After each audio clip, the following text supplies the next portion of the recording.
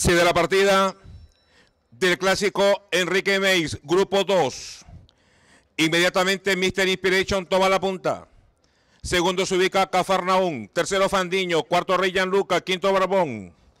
Sexto, cerca al grupo se aprecia a Dixie Way. Más atrás a Falot. Último ha quedado Golden Leaf. Se acercan al poste de los últimos 1600 metros. En la punta marcha Mr. Inspiration. De inmediato mejora Dixie Way para pasar al segundo lugar. Cafarnaún está en el tercer puesto, cuarto Barbón. En el quinto lugar Fandiño. Sexto Capital Bank. Luego lo hace Reyan Luca. Más atrás se ubica Asfalot, siempre alerta.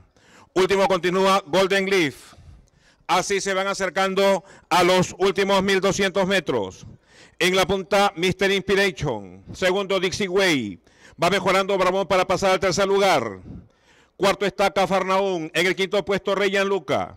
Luego Capital Bank, Asfalot, Kodiak Boy, Fandiño. Van ingresando a los últimos 900.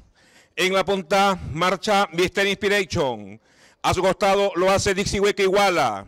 Dixie Way va entrando a dominar. En el segundo lugar quedó Mr. Inspiration.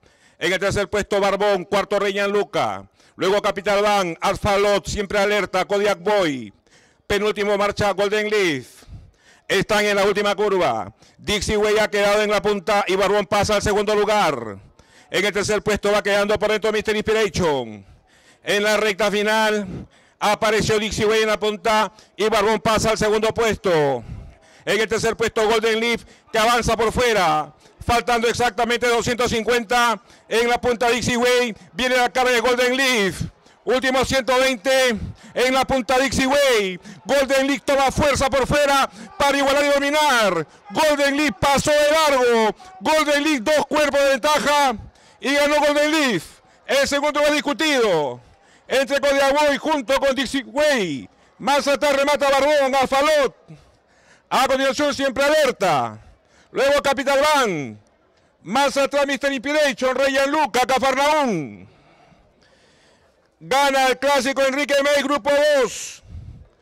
El número 8 Golden Leaf con Martín Chuan.